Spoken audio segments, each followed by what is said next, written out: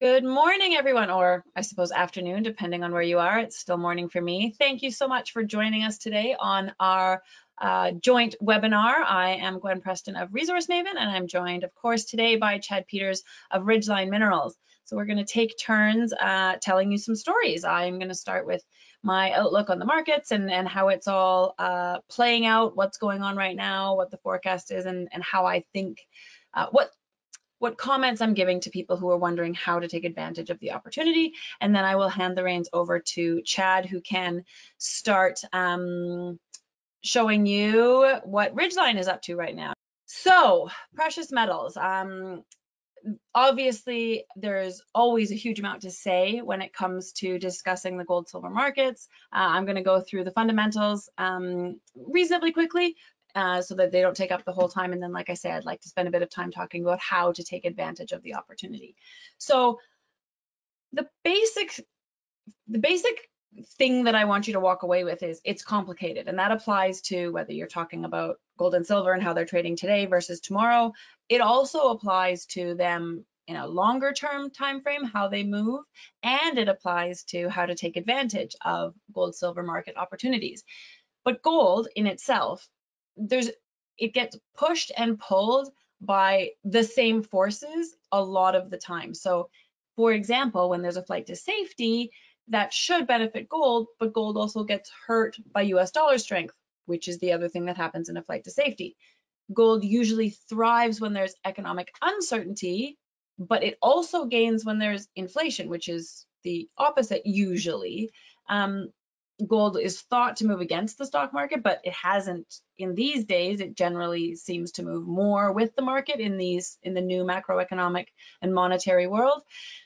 So one thing to take from that is that gold's first reaction to a major economic event often isn't its inherent reaction. It often stems, it's often influenced or comes from a bigger market such as the reaction to that event from the US dollar or from bond yields or from the stock market. And the reaction that makes sense for gold often happens after. So it takes a little while for gold's inherent reaction to develop. But at the end of the day, if time is on your side, you're not trying to trade your portfolio to a profit tomorrow or next week, but are looking more on, you know, a normal investment timeline of, a, of several years to longer, the details don't actually matter. The big picture, picture is that precious metals are going up from here. So here's the basics of the golden setup. Negative real rates are always the most important bull force for gold. When intra when real interest rates are negative, that means it does not pay to hold dollar savings. And so safe money needs to put itself somewhere else. And gold becomes a classic um, destination for those savings. And importantly, we are very much in a negative real rate environment right now, and the Federal Reserve has assured us that we will remain there for years. I think that year's time, that year's comment um, deserves a little emphasis. It took the Federal Reserve seven years to raise interest rates following the great financial crisis. Now, I don't know if it's going to take seven years this time, but that sort of time frame is pertinent. I think it, it's relevant. It's going to take years for the Federal Reserve to work its way out of this setup. Powell has said so much himself when he repeats himself, but um, saying we're not even thinking about raising rates. He underlined that when he changed the inflation target to a 2% average instead of just to getting to 2%.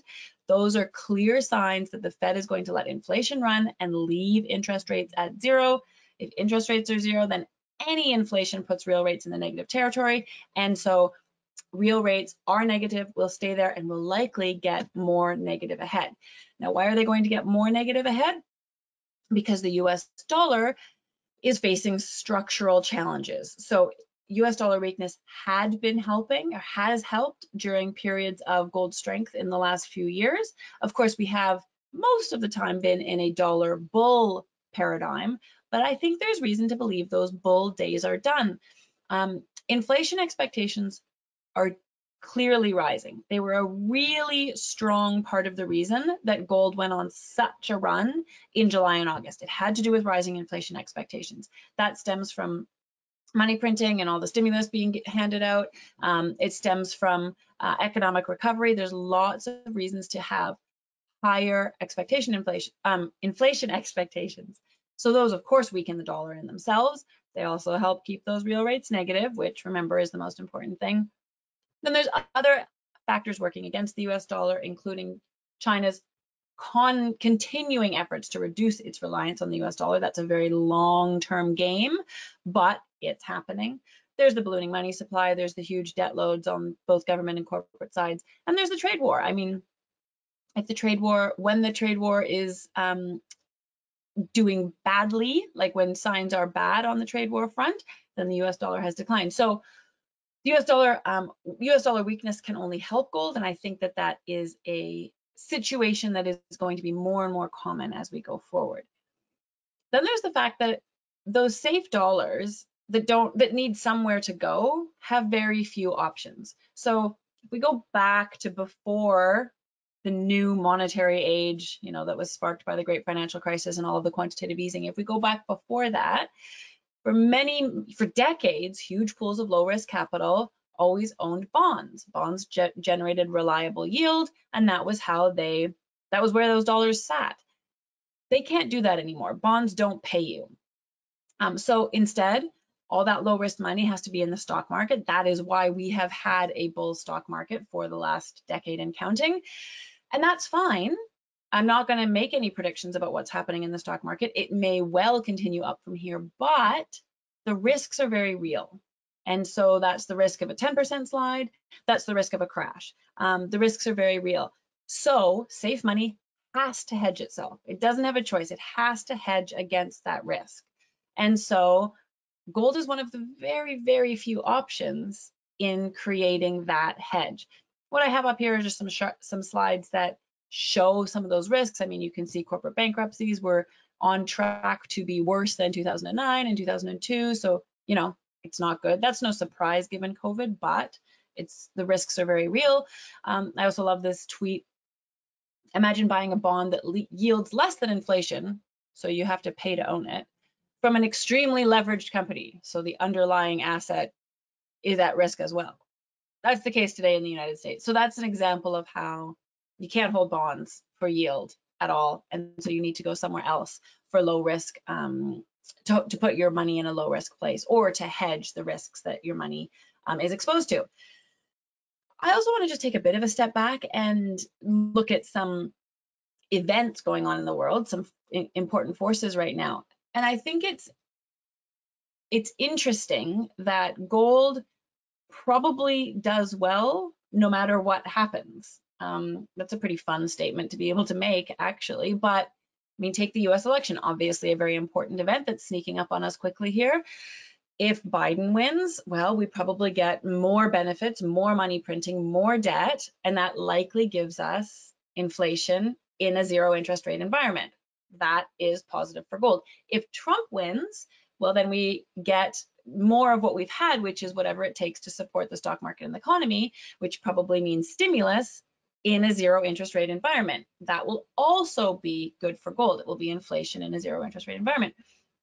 It works the same for COVID. If we get a rise in cases, then we get a flight to safety in a zero interest rate environment. If we get a drop in cases, then we probably get growth-based inflation in that ZIRP environment. And the trade war the same. So I think um, gold works on specific macroeconomic levers, but it also works on sort of big picture event-based analysis. Okay, so if everything's set up so well, why did we have this recent dip? Why has gold struggled a little bit um, in the last month? Well, the key event is that Justice Ginsburg died. And what that meant that the stimulus package that the markets had already priced in evaporated because it needed bipartisan support and all of that um, disintegrated in the face of the Supreme Court um, fight. And so when we lost that stimulus package, then inflation expectations, remember I said in rising inflation expectations were a big part of the reason that gold went on a run in in July and August. Those inflation expectations dipped because they had more recently become predicated on another stimulus package. And so inflation expectations dipped and the market had a fit just in general. And so the result of that is that gold sold off with everything else. Gold, the metal, and gold the miners. At the same time, we had a flight to the US dollar in reaction to that lack of stimulus. So there's gold getting hurt as a proxy to another market, which is what I said at the beginning. And um, the flight to the US dollar was exaggerated by the fact that the euro turned down because COVID, the COVID uh, case count, especially in mid-September, was rising specific, like rising predominantly in Europe. And then there's also just a bit of a time of year thing, which is that September is when a lot of portfolio rethinking happens because traders come back after the holidays, and it's not surprising to see some profit taking in arenas that have done well, and gold certainly fits that description. I'll just go through this very quickly. One factor that had that added very much to the run in gold and silver prices um, through the summer and then to their downside when they turned is uh, a lot of speculative positioning in China. Um, I could talk about this for 20 minutes, but I won't. Instead, I'll talk about it in about one minute. Basically, there was a lot of easy money available in China, and a lot of that money went to, in a similar vein that we had the Robinhood trading phenomenon here in uh, North America. Over in China, a lot of it ended up being um, inexperienced traders betting on gold and silver futures. And that is a super fun game when gold and silver prices are rising because you get multiples, like you make a lot of money um, without having to put down a lot of money in a very short period of time. And so that's great until the prices turn down. And then guess what? Leverage cuts both ways. And so all of your money evaporates very quickly. So the ramp up of that speculative action in China really um, fed into gold and silver price gains. And then when the prices turned, a lot of those investors had to scramble to cover and then exited their positions completely. They stopped playing the game. Um, right now, we're in a period of time where the Chinese markets are closed for, uh, for some back to back holidays. And so a lot of those short term or inexperienced traders closed their positions ahead of this market um, quiet period. And long termers will actually have to chase their positions if um, if they've bet wrong when they come back. So if the prices have gained and they had down position, they had down bets, they'll have to chase when they come back in a few days. So I think that just amplified both the upside and the downside, um, in particular the downside here recently. And it's likely going to be less dramatic going forward because they've those inexperienced traders have now realized that leverage cuts both ways. On the junior exploration front, um, it also hasn't been helping that we've been facing a free trading date landslide. A huge number of companies raised money in May through August, so there's a huge number of those financing shares coming free to trade now through the rest of the year, and those push back on share prices that have gained um, that's part of the game. That's part of how this process works, but it's certainly an important factor in the markets right now. If you're wondering why a stock that you're holding is sliding when there doesn't seem to be a reason, look back four months and see if there was a financing that closed four months ago that may be at play. Super slow assay labs are also a thing. I mean, this isn't targeting one company or another. This is targeting, this is hurting everyone. Assays are taking three months instead of six weeks. Um, that's very difficult for geologists. It's very difficult for management. It's very difficult for investors. It's just one of the things that's happening. And again, some profit taking. The run in July and August gave investors, some of whom were, you know, dedicated through a lot of down years, the opportunity to take some profits off the table. And that's okay. That's also, that's why we're here, right? So that's also okay. But these are all the forces that are at play. Okay, so we have a bull market ahead how are you going to profit? I want to go through this quite quickly because I really want to be able to get to Ridgeline and the opportunity that Chad's going to outline here and what's new with them. But I want to say that if you agree with me that we're in a position where for the next few years gold and silver are going to do well then the question is how do you, how should you best take advantage of that opportunity and um, the comments that i always give are you don't have to be an expert you do have to understand what's going on and decide that we're in a bull market, to watch the forces enough that you can see when that situation starts to change. I think that will take some time, like years, but that's part of part one and two go together. And then part three is you have to understand yourself as an investor. So decide how much time you want to commit to following stocks and following the forces, and then how much risk you can tolerate and when you answer those questions, then you can set expectations, you set goals and expectations for your portfolio that you're actually likely to meet. Um, if you don't ask yourself those questions, then you're likely to get frustrated, disappointed, and perhaps lose money because you'll be um, positioned inappropriately for what you actually want to do. But at the end of the day, whether you're a trader or an investor, whether you like to speculate on discovery or whether you like, you know, to invest in leverage to a rising market, it all works. That's what's so great. Um, it just works with different timelines and different risks and different needs. Uh, the two charts I have show that GDX is up 56% year over year. That's fantastic. 56% is great. Evergold, I use as an example here, sure, it was up 300%, which is great, even better, clearly, but that's only if you sold right at the top. And exploration speculation is often a roller coaster, so don't pretend that it isn't when you look at charts like that and wish that you had gotten in.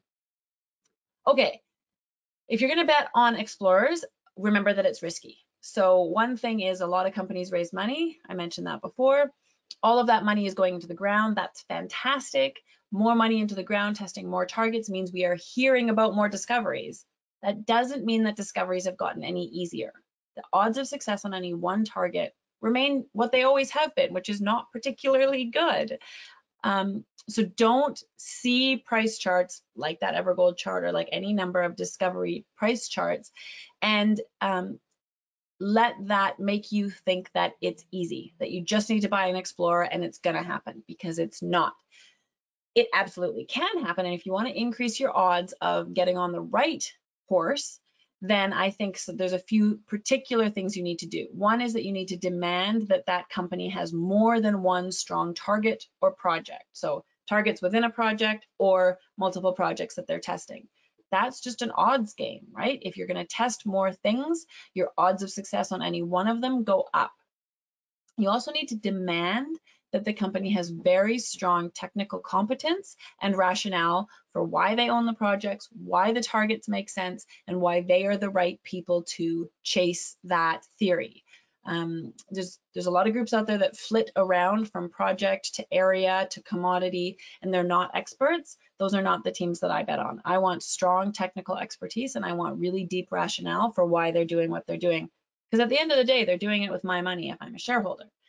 And then you just want to remember that geology is risk enough. So ensure that management has the other risks reasonably well in hand. So permits for drilling, are they, are they, do they have them? Are they at least close? Is it in a jurisdiction that's functional? Um, is seasonality an issue? Are you going to be stuck in a through a many, many long winter months with no news flow, or do they have a way of a second project that's in a, a different part of the world?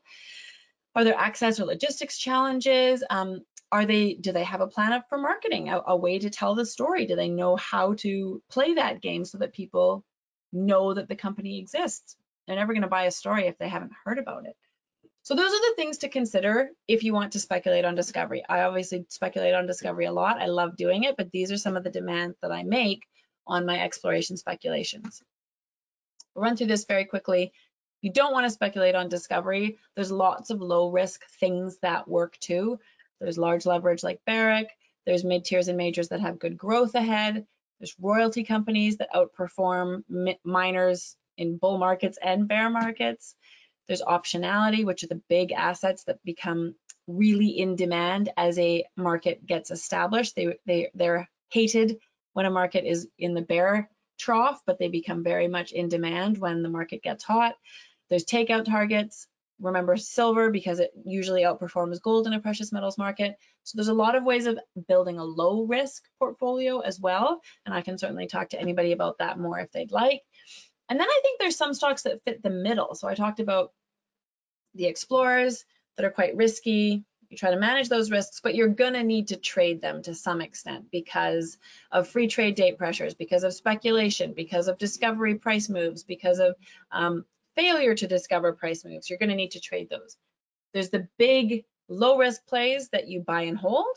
And then I think there's some that sit nicely in the middle. And these are the ones where there's a good exploration upside, but there's also fundamental value that means that you don't, it's not a roller coaster. It's likely more stable with um, opportunity or uh, good potential for nice upside. So I'd say companies that are moving their deposits towards initial mine plans, but are also doing significant exploration programs on um, other targets in the project area. And then there's companies, to be honest, like Ridgeline that have multiple projects. So if you have a strong lineup of exploration opportunities, that limits the downside because if hole number one or two or four doesn't work at project A, there's still project B, which is lined up, perhaps drills are already turning, and there's project C. And then there's another series of targets at project A that they'll move to once they've reassessed things.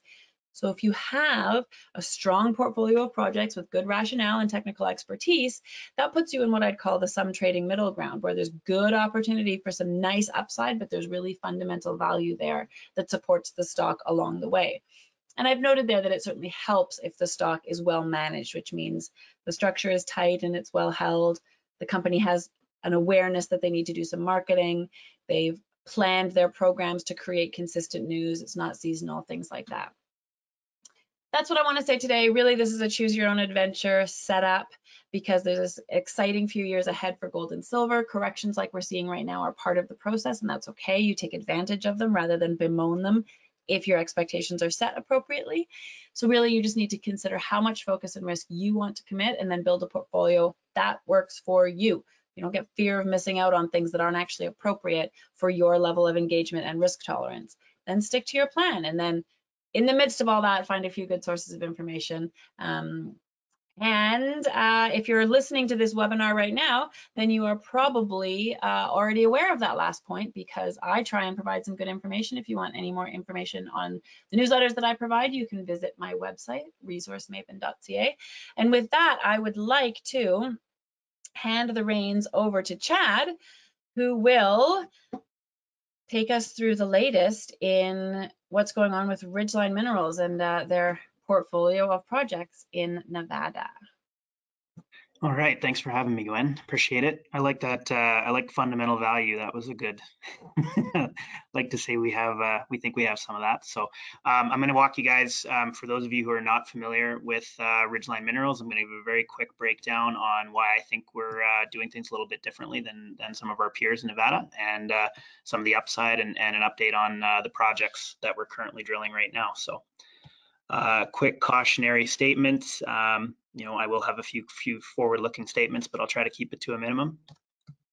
So why invest in Ridgeline Minerals? We're a Nevada-focused junior explorer. We have 116 square kilometer exploration portfolio across three projects in the Carlin and Battle Mountain Eureka Trends of Nevada. So I think going back to what you were saying, Gwen, about having multiple assets in a safe jurisdiction, that's exactly where we are with uh, with Ridgeline. We have three great projects. They each have their own exciting upside in their own right. And what 2020 is is a very important year for testing all three of those projects through a phase one, at the minimum, a phase one program, so that we can try to uh, advance these uh, projects to a decision point for 2021. So um, what really sets us apart, I think, something important to mention is that I co-founded the company with the owner of a drilling company. So, um, you know, our co-founder owns an RC drilling company we're able to drill at a significant discount to uh, market rates and our peers, which is a huge competitive advantage. Sometimes a great project, the only difference between a discovery and it fading into nothing can be the amount of steel that you get in the ground. And we're able to drill more feet with every, uh, more meters with every dollar than, uh, than our peers. So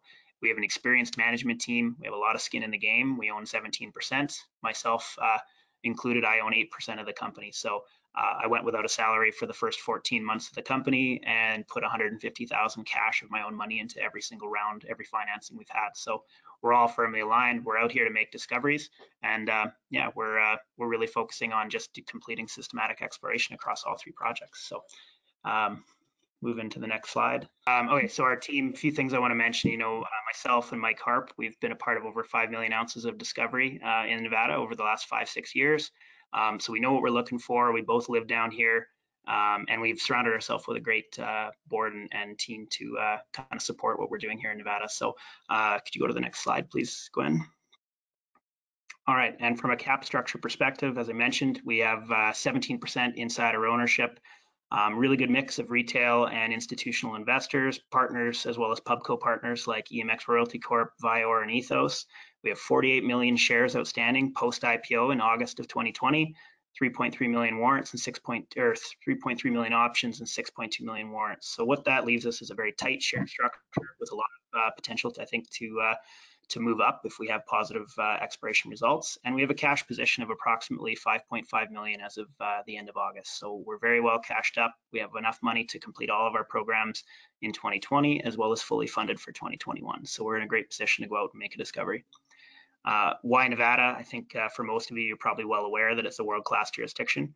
Um, and uh, groups like Barrick, you know, they've they've since done the Nevada Gold Mines joint venture with Newmont and are now doubling down on exploration um, across Nevada. So we think there's still a lot of upside. We founded the company based on exploring for deep exploration targets, and um, you know, we think we're going to have some success. So uh, next slide, slide please, Gwen. Uh, we have three projects, as I mentioned, Carlin East, Swift, and Selena. And um, one thing I wanted to mention is, you know, Carlin East and Swift are high grade underground targets. They're really what we we raised the money on as a company. Um, probably, I think we we introduced the project to Gwen actually about a year ago now.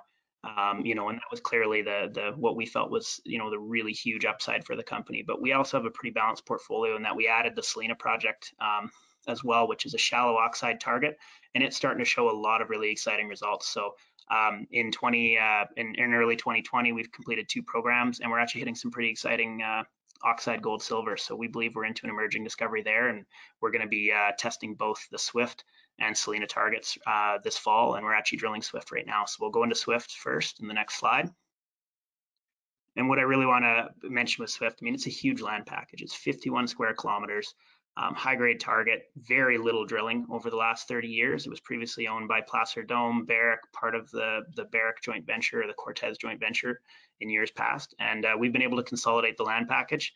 We have 3,000 meters planned for this year, fully approved exploration permit for uh, um, up to five acres of disturbance. And we're only 10 kilometers uh, downtrend of some of the biggest mines in, in Nevada. So if on the next slide, we have what I really want to point out is on the image to the right, you can see that all of these mines along the Cortez Trend, there's over 50 million ounces just scattered in that image alone. Um, they're all clustered along a northwest trend at fault intersections. Well, the next structural block to the north of the pipeline deposit would be the Swift project. That would be the next structural intersection. So that's what we're testing right now at the Fallen City target. If you look to the image on the left, it's showing, you know, very high arsenic, widespread arsenic anomalies across the entire project.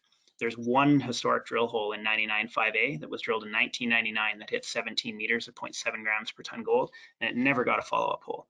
Now, for us, when we saw that, that got us really excited because that shows that there's already an active Carlin type system at depth that de-risks the project significantly without even having to do a drill hole of our own.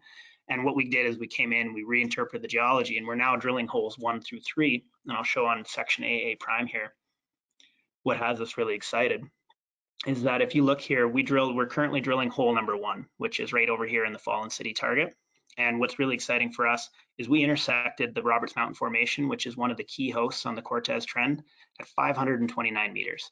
So that is over 200 meters shallower than the intercept in um, uh, in hole MCK 99.5A. So what it shows us is not only is they're already an active system, but we were able to track it up into much shallower rock. It matched what our geologic model suggested, both with our geophysics and our mapping. And we've hit multiple silica sulfide breccias um, pretty much as soon as we got into lower plate. We've hit multiple breccias between 558 meters and 610 meters. Of course, with any Carlin type system, you got to take it with a grain of salt, right? It's it's you don't know whether it's going to carry gold. Um, that's up to the assay lab because these, it's microscopic gold that we're looking for here. But at the end of the day, we're very excited because we've hit um, the right host rocks. They're altered, and um, we're going to come back in. We're actually uh, we're going to be moving in core rigs um, in the next two weeks. We're going to finish a few more pre-collars at hole two and three. Now, what a pre-collar is is we drill RC, which with our drilling contract we can drill for incredibly cheap. We drill that through the white rock, which you can see is our upper plate. And then what we do is we case that hole with steel so the hole doesn't fall apart, and then we follow in with a core tail. The core tail allows us to get very high quality, both structural and geochemical data from the hole. And it's very trustworthy data. So one of the issues with deep drilling in Nevada, as you get deeper, you tend to get below the water table and RC drill holes tend to have a bit of downhole contamination. It's different with every project, but you always have to kind of take it with a grain of salt, right? You know that you're hitting altered rock. What that gold grade is, is really tough to tell until you go in and you confirm it with a drill hole. And that's what we're doing now with core, is we're going in, we're finishing this RC hole right now. We'll probably finish it today and then we're going to come back in. We're going to drill about 3,000 meters of core across three to four holes, and um, we're we're really excited to see what comes out of it. But um, I think from an early stage when Gwen was saying, you know, that, you know, testing your concepts, um, this is a huge, uh, a huge win for us, I guess, from the perspective of we came in, reinterpreted the geology, what we've hit now matches what we expected to see. So um, it gives us a lot of confidence with our targeting and heading into uh, to a bigger program. So um, yeah, so I guess next slide. We'll have uh, more information coming from that, by the way. We'll probably have, because we're drilling core, I'd say that our drill results are probably gonna be coming out in mid, mid-November, late November. We'll start getting assays coming in. As Gwen mentioned, it's very, very slow at the labs these days. Um, but we've actually been lucky enough uh, we get about three to four week turnarounds. We have a very good relationship with our lab, and and um, you know when times were tough, we were still sending samples, so we're getting uh, we're getting priority treatment, which is great. So so we expect to still get pretty good turnarounds. So I want to mention the Selena project. Like I said, it's an oxide gold silver target, um, and uh, our phase one and phase three programs highlight that we have significant oxide discovery potential here, and, and we're going to be doing a phase three program starting about October 20th and that'll be about a 2,000 meter program to follow up on results from phase two, which we released back in uh, early in late August. So um, if you don't mind going to the next slide there, Gwen. So we have multiple uh, targets in here um, on the project. It's 26 square kilometers. And is just to note here, we're right by the Alligator Ridge, Bald Mountain, and Golden Butte mines. So there is active mining in the area, both historic and currently producing. And what we came in with our first uh, phase in the spring, we came in and we trenched across some of these targets. You can look to the image on the right. We trenched up to 38 meters of 0.75, 50 meters of 0.64, and then we drilled with our phase one and two programs beneath those trenches and along strike to try to prove that there was, uh, you know, we could find even stronger mineralization at depth. So if you go to the next slide there, uh, Gwen, we'll show cross section AA prime here, and we're looking just, this is from our um, from our press release that we did in uh, in August, and we intersected oxide gold in 10 of 14 holes in our phase one and two programs. So we had a very high hit rate. Um, holes 13 and 14 were the first holes to actually test this juniper fault, which you can see is kind of the clustering of some of those grades on there. And I'll just mention that, you know, we had up to 29 meters of 1.26 grams per ton gold equivalent, which equated, I believe that hole was 29 meters of 0.38 gold and 65 grams silver. So really great silver. We'd like to see the gold getting a little higher, get it up over half a gram, but very, very encouraging results for, for an early stage uh, program like this. I mean, there hadn't been a drill hole on this project for over 20 years. And in our first 15 holes, 1500 meters, we've been able to, I think, show that there's a lot of potential here. So the phase three program, what we're gonna be doing is we're gonna be testing these parallel structural targets um, across uh, um, the Tyrant and Maximus faults, and we're actually getting into better host rocks as we head to the west. So the um, brown and the light blue, those are some of the best host rocks in the area. Um, the brown unit hosts the Bald Mountain mine. What Fremont Gold is drilling right now, just down um, about 40 kilometers to the south, is all in that brown unit. So we have some pretty high hopes for for testing this target. It also tracks out along one of our better geochem anomalies. So we think we're just starting to vector into some of the higher grade stuff, and we're, we're excited to see what phase three brings. So we'll probably have results for that coming out again in mid-November. Um, so uh, um, we'll get that hopefully going in the next two weeks. So Carlin East is our last um, property. I'd say that probably it's what I raised the majority of our money on when we first founded the company um, because it is a very core land position, 39 square kilometers directly adjacent to the Gold Strike and Leeville complexes in the North Carlin Trend. So um, if you go to the next slide, I'll show you why we're excited. So everything in the gray and white is our property package. And what you can see is in 2019, we drilled hole 1901. We proved that the host rocks were significantly shallower than previously thought. We hit host uh, lower plate host rocks at 790 meters. Historically, previous operators had thought maybe it was closer to 1500 or 2000 meters deep. So we were able to prove, you know, that was a, a positive move for us last year.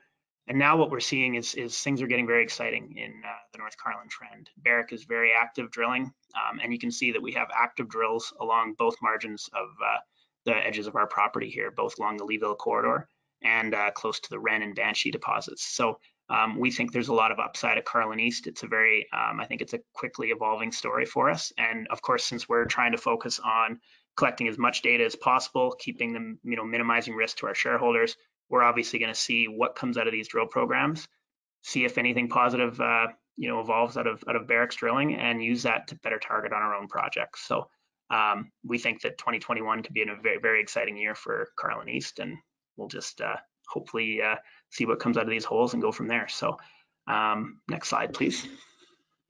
So to just to finish off, one thing I really want to mention is we have a lot of catalysts coming up through the end of the fall here. Um, we're drilling over 6,000 meters. We've allocated um, all of our drilling towards Selena and Swift for the remainder of the year. That's both a function of timing. Um, we're starting to run out of um, season here. We are going to get snow probably late November, and it makes it difficult to, to complete drilling programs. So we're going to focus on positive results that we're seeing at Selena. We're already seeing some very exciting rock at Swift, and we hope to follow up with some great core drilling and really prove that there's something going on um, there as well. So it'll be, uh, I think November is going to be really big. We're going to see results coming in mid-November and probably have that scattering all the way through December um, into early December for the company. So lots of catalysts. Um, we're focused on making a discovery, and um, and yeah, that's what uh, I think. If we go to the next slide, I think the main thing to take away is we're fully funded to complete our activities. Um, we got a great team that uh, knows what they're looking for in Nevada and has had previous success, and and um, we hope that uh, hope that we can uh, prove that we're uh, the next big thing in Nevada. Thanks, Chad. That was a great run through of things. Um, a few questions have come in. I did forget to specifically remind anyone in the audience, if you have questions, please enter them in the question box. I see them. I'm happy to pass those along uh, right now during our question and answer period. I also have a few questions of my own that I can throw in. Um, so I want to just take a little bit of a step back um, and ask a little bit about building the portfolio of projects that you have. And I think part of the reason for that is uh, that I want to, I'm going to stop showing the screen so people can see us instead, I think. Oh, I hope I that. My webcam was turned off the whole time. So. That's okay.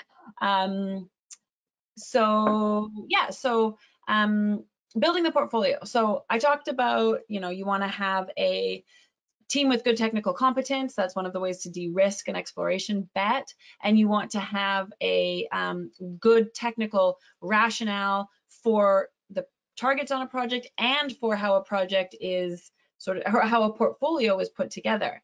And that's sure. actually one thing that I really liked about Ridgeline right from the beginning. So can you just take us through that about, you know, I mean, Nevada, maybe we'll leave why Nevada for a moment because I have a bit of a question about that afterwards. But once you've got into the decision to focus on Nevada, how did you decide to focus on which kinds of targets? Right. Well, fair enough. Um, so it is tough in Nevada, right? Because it's such an endowed state that you know, no matter where you go, you're probably gonna you're probably gonna find a rock that has some gold in it, Nevada, and it can be really exciting. You know, uh, you know. So when you I think what we do when we're looking at projects is we're looking for really key structural indicators of, of you don't tend to have multi-million ounce deposits unless it's on a major structural trend.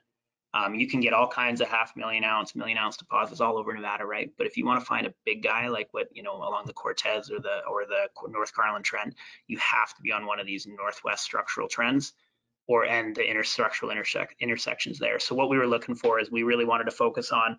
We felt the future of exploration in Nevada was going deeper. Um, most of the you know the shallow oxide stuff has been pretty picked through, and we're really excited about Selena. But we're also very cognizant of the fact that that isn't going to be a five million ounce gold mine, right? We know that. I'm not going to go out to shareholders and say it is, but it does have a potential to be to fall into that half million million ounce category, which can still be very valuable, right? But um, what we really want to focus the company on is tier one assets. And to find those, you had to go deeper and you have to go into areas where people have already looked, maybe been looking with a bit of um, a different exploration model. And what we were able to do is we went into Carlin East and Swift, which were both considered way too deep. And we, we, we used gravity, we used in the field mapping to actually go in and reinterpret the structural models. And and we actually have our, we've now proved with our holes at, at Swift that both of those projects are significantly shallower than previously thought. You know, Carlin East was was a you know 1,000 to 1,500 meter target, and Swift was considered a, an 800 to 1,000 meter target. We've come in, we hit uh, lower plate at 800 meters at Carlin East, and we hit it at 590 meters or 520 meters, sorry, in uh, Swift. So um, that's well within striking distance for these companies um, in Nevada, you know, Barrick, Newmont, Kinross, and with our drilling contract, it allows us to be even more aggressive with drilling them off. So I think what we really looked for is we thought, okay, it's tough to get a foothold in Nevada. Best way to go about doing that is to going into underexplored or un- misunderstood areas, picking that ground up, and then kind of, I think, uh, reinterpreting the story, and that's what we've done. So that was our yeah. first. Gotcha, for sure. Um, so, and uh, for a little bit of context for people, when you talk about the deep targets and the the you know Barrick and and what they're drilling and why those things are tier one assets. Can you capture a little bit about what Barrick is drilling that's right close to you? Just as an example, um, I think, because not everyone sort of, because we hear about splashy exploration news from junior explorers, but we don't hear as much about splashy exploration news from Barrick, because guess what? They focus on their mine. So get, give us a little rundown of what these guys are actually finding. Yeah, for sure. And like that's the thing, you know, like some of the results that Barrick is putting out, you know, in the bottom of their Q2 financial reports every, you know, their their quarterly financials are the kind of reports that would take other companies to the moon, right, as far as the stock price. And um, but they're just listing them in the bottom of their, you know, oh by the way, we actually happen to hit this as well. Um, you know, at, at North Carlin, for example, in the North Carlin trend near Leeville, um, they are now testing the Leeville corridor between our two, between Carlin East and the, the existing Leeville mine, and they hit, uh, I believe they released 21 meters of 35 grams per ton. You know that's a 735 gt intercept. I mean that's that would fall right into you know some of the best intercepts coming out worldwide right in exploration right? And that's you know within i think they're within a kilometer of the existing mine infrastructure. So i think what it's really highlighting is um, you know, testing these car these targets along strike and beneath these existing mine sites is having a lot of success. Barrick's doing it right now, both at uh, the North Carlin trend. They're drilling 300 meters, I think, off of the edge of our boundary on the western edge of our boundary at the Ren deposit. Um, so they're looking for the down drop portion of the Ren system, which already has an established resource up shallower but now they're looking on the other side of the fault zone. So, um, you know, they're doing that in the North Carlin trend. They're having a lot of success at Four Mile, which is just a long trend of Swift. You know, um, obviously it's a ways down the trend, but it's in the same host rocks. Um, so I think they're probably the most successful group in Nevada um, as far as going in and just testing some of these deeper targets. And when obviously when you have the deep pockets like them, it's you know they can be very uh, systematic about it. So we're hoping for for us, we're having to rely heavily on our technical team to to be you know if you have a 50 square kilometer pro project where's your best bet that you're going to have something that's going to show some success? And it's a little bit you you probably lose hair doing it. I think we, we lose a little hair picking but um, you know it's a huge for swift for example you know we hit within where we expect to hit in the model and it's altered which is the most we can hope for right? Like whether it's going to grade these systems have large alteration halos around them so just the fact that we're in altered rock, I don't know what the grade's going to be, but there is a good chance that it's going to carry grade in some form, whether it's extremely low grade background or, or even or higher, right? But what it allows us to do is then factor in, okay, well now we're hitting, where do we go next? Do we go along strike? Do we go deeper? Do we go to the next parallel fault system? So it's all things that you have to assess as the data comes in. So. Yeah, for sure. Okay, um, I've had a couple questions about Carlin East and uh, the decision to not drill there until a little bit later. And I think that ties in with what we were just describing. In, in part, you just said Barrick is drilling 300 meters from your border there, um, and they can, you know, they have the deep pockets to do some systematic drilling. So I know you've, you and I have chatted about how it's nice to be able to take advantage of some of the work that Barrick's doing. So I think that's part of the answer, right? No, for sure. And you know, they're de-risking they're de-risking our projects by by continuing to drill in the general area because they do release what the results are. We can get a good feel for where they're hitting and and why they're targeting their targets the way they are. And I think, um, you know, from a budgeting perspective, we budgeted a thousand meters for Carlin East this year, right? Just a quick follow-up program at the end of the year. But I don't want to just put one hole down anymore, right? They're they're having success. We know they're having good hits, like the 21 meters of 35 grams, and I want to be able to put five or six holes into Carlin East next year and make sure that we're actually systematically testing some concepts. And one hole just doesn't do it for us. So we're better served um, sitting back, letting Barrick continue to you know to do exploration. We can learn from what they're doing, and we're better off reallocating that capital to both Swift and Selena, which are showing a lot of very promising um, early stage results. We can then drive Swift and Selena to a bit stronger of a decision point for 2021 as well. So it has benefits on both sides. Yeah, I mean, and and balancing projects in a portfolio is the challenge and the benefit of having a portfolio of projects, right? Yeah. Um, just one last question on Carlin East before we move on to something else. Someone was saying you mentioned the two holes that were drilled that hit lower plate at 700 plus meter meters that showed you that it was shallower than previously expected. What were what, what was assayed for in that rock, and what were the results, and what, this, what does it tell you?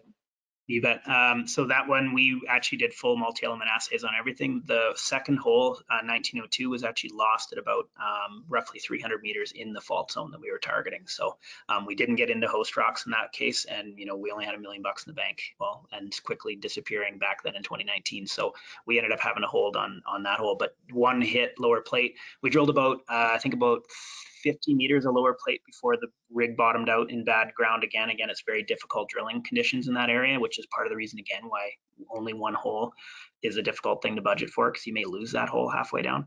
Um, but we hit 250 meters of about a half gram silver in the bottom of the hole. Um, half gram silver PPB level gold, um, you know, anywhere from I think it was about 30 ppm arsenic. So, um, you know, antimony was uh, elevated as well. So we were seeing elevated trace elements. We saw the silver, which was higher, which showed to us that we felt okay, we're in the outer halo of potentially a larger system.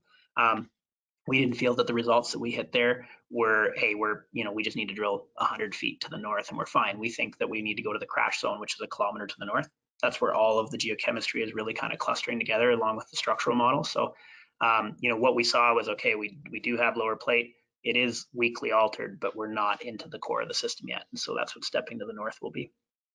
I love the crash zone. That's like the best name for a structural target that I've ever heard. We're pretty, um, we're pretty boring geo. So we just were like, what's happening? Well, everything's crashing together. So why don't we call it the crash zone? so, not very original. um, okay, uh, someone was asking, let's get back to the Nevada um, part of the story. Uh, someone noted that you are not originally an American, let alone a Nevada-in, but are from, you hail from Manitoba, but yet you live down there. Um, mm -hmm. So give me a little bit of your Nevada background and then how, what would you say about the importance of, you know, you and your, you and Mike and your team like living there in Nevada? Um, what does that give you in terms of connections, knowledge, access to properties, things like that? No, you bet. Um, so I actually started my career in Red Lake, Ontario, working for Premier Gold Mines. So I'm actually had my career was a narrow vein, you know, high grade geo. You know, essentially I worked underground and exploration for like six years, and so I came down to Nevada and had no idea what I was doing. And it took, you know, like it was kind of a hole. But the thing was, is Nevada, I think, has a lot of dogma associated with exploration. You know, there's certain rock types you're in, and then certain rock types you don't look in. And and you know, and there for 30 years there was rock types that had every indication there was gold in them and they didn't get drilled because there was you know there was people at the top saying no there's no gold there so when i came down it was kind of uh, you know for us i just applied my i guess my structural background in geology to nevada geology and, and started testing different concepts that had nothing to do with you know oh there's gold should be gold here because it's a triassic age rock or a devonian etc and we had success so we made a discovery at cove um, found almost 2 million ounces of 12 grams. It's currently the highest grade undeveloped um, resource not owned by Nevada Gold Mines in Nevada. So, um, so you know that was kind of an eye opener for me was that you don't have to be looking in the classic rocks, and that's kind of how you know the idea for Ridgeline started. And, and Mike Harp's the exact same way. I mean, he was part of the uh, gold standard team that found almost 5 million ounces there over the last 10 years. And, um, you know, Mike actually led the discovery of the North Dark Star, which was a target that uh, frankly wasn't very well liked by um, previous operators and stuff because there wasn't a good enough geochemistry anomaly. But Mike applied a different structural approach to it and they made a discovery. So um, I think having an open mind and trying different concepts in Nevada is starting to bear fruit for majors and juniors like us. So. And then what about living down there? Oh yeah, sorry. Um, yeah, um, living down here, we've been down here for eight years. I have a green card now. My, uh, you know, my wife and I moved down in 2012, and we got two kids and a dog and a cat. And we're pretty entrenched now. So, um, but living in Nevada is huge because what we get is, you know, I have prospectors, um, different landowners that I catch up with for a beer every once in a while, right? And they just say, hey, by the way, I staked this new ground, come take a look. And that's how um, we got to know the EMX team actually through kind of a relationship that way, which led to lead spinning these projects out. And I'm currently assessing multiple opportunities in Nevada um, for additional projects to bring into the portfolio right now that I would say probably are not um, you know, groups out of like Vancouver or Toronto, just flat out, they're not going to get access to these projects, right? Because we're able to go out, look at them in two days instead of two months, and um, we can make a decision pretty quick. So it's been a huge, huge advantage.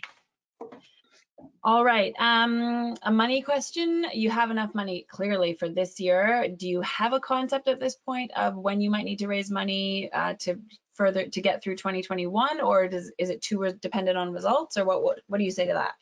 Here, our cash burn is quite low. Uh, so even with all the drilling we're doing this fall, we're going to end the year with about 4.5, 4.4 million Canadian in the bank. Um, so that would be more than enough to do another eight, probably about an 8,000 meter program next year, as well, as well as cover all of our overhead. But um, realistically, I would say fall of 2021, fall of 2021, if uh, you know if we're having some success, um, we'd probably be looking at raising. Now, if we have some success this fall, and the stock performs well, and we can, you know, raise an evaluation that uh, we like, then we'd absolutely look at adding to the treasury before the end of the year even, but it really just comes down to drill results, so. Yeah, yeah, for sure. Okay, and then just to finish, um, let's return to this this the move that you made at Swift to change from RC drilling to core drilling. Um, let's just yeah, let's just I think that's kind of an interesting. It's a pretty interesting decision. Uh, so let's just talk about that again because we all know we need to hear things more than once before we understand them as people in general. Um, so yeah, I just want you to revisit that and uh, and give us that overview one more time well, it wasn't it wasn't an easy choice because obviously we have the drilling contract that's RC, right? So our, our drilling contractor only has RC rigs. That's where we get our massive dis, discount to uh, to our peers. But the issue is, is when you're drilling deep holes in Nevada, um, and you have groundwater, the mix of those two can be problematic for RC. So if you're drilling RC shallow like we do with Selena, we don't have any groundwater there. So I have 100% confidence that what we're drilling, um, the assays, etc., we're not getting any smearing of grades. It's all very, very quality data. When you get 2,000 feet down and you're below the water table, you just the fines. There's the whole Carlin type systems are just fine gold kind of uh, flitting, through, you know, just disseminated throughout the rock, right? So when you start smushing that rock apart and breaking it apart with a RC rig, and you have groundwater, all of those fines trickle down the hole. And so you can end up with, you know, an intercept, you know, let's just say hypothetically, you had 10 meters of 10 grams in an RC hole. You could then drill a core hole, and that might actually be four meters of 15 grams. Typically, you will have a narrower intercept that is higher grade with a core hole. And it's obviously representative exactly what you're drilling, right? So for us, what we're seeing in the hole is exciting enough. There's enough alteration that we need to have core to get that um, you know, we need to be able to get that full picture to be able to make better decisions for uh, for future drilling programs going into 2021. So for us, it's it's pretty exciting. Um, it's worth spending the money because uh, we're hitting the right looking stuff. So. You heard it here first. That's cool. That's exciting stuff for sure. Um, well, I think it's been almost an hour. Uh, I'm always aware of taking up people's time, so I think we'll wrap it up there. Chad, is there anything else you wanted to uh, wanted to say before we before we sign off? I think we covered a lot of it, but if anyone has any more interest in, in kind of checking out each of the projects, we have VRify models for all three projects on our website at ridgelineminerals.com. We're constantly on Twitter, bothering all of our followers and, and uh, LinkedIn as well, so with updates and stuff. So if you're interested in learning more about the company, subscribe to our list, um, follow us on Twitter and all that. We'll be keeping uh, regular updates heading through the fall, but um, going to be a lot of news coming out through late October all the way through December, so should be exciting. Perfect. Well, thanks for uh, for the presentation and the questions and answers today here, Chad. And of course, thanks to everyone who tuned in. Uh, we appreciate your interest. If you have, as Chad said, if you have any questions for him or any questions for me, we are both very easy to find at our websites. Um, and with that, we'll wrap it up. Thanks everyone for your interest, and we will see you here again soon, I'm sure. Bye-bye. Appreciate it.